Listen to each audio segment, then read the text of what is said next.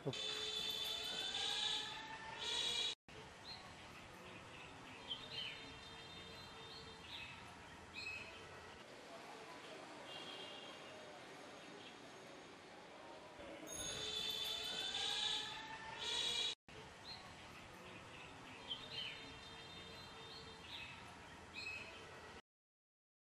লোকজন তাকে ধৃত করে ধৃত করলে